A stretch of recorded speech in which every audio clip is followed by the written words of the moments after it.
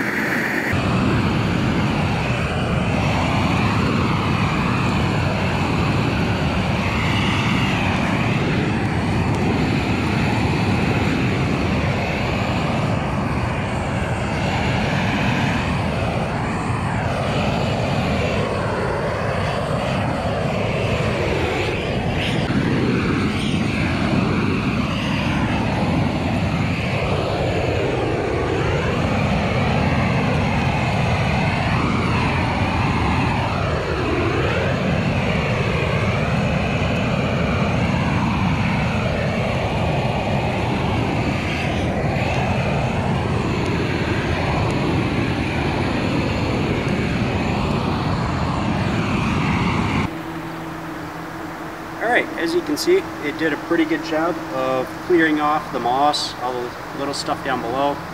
Uh, yeah, not too bad. You can pick up one of these torches at Harbor Freight for like 30 bucks. Uh, we got this one from Northern Tool, a little, a little bit more, but it actually worked really well. Just be careful though, so you don't burn down the whole shed and works. Because, uh, yeah, if it's dry out, you can have problems. Uh, it's supposed to be raining here in a little bit. Just check the radar.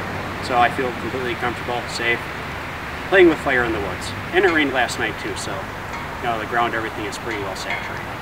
But yeah, torches work pretty good for reclaiming trails that have been overgrown. Just be careful when you're playing with fire. Thanks. Have a good one. You can use a torch. Oh. Not cool. Redo. Redo. You can use a torch.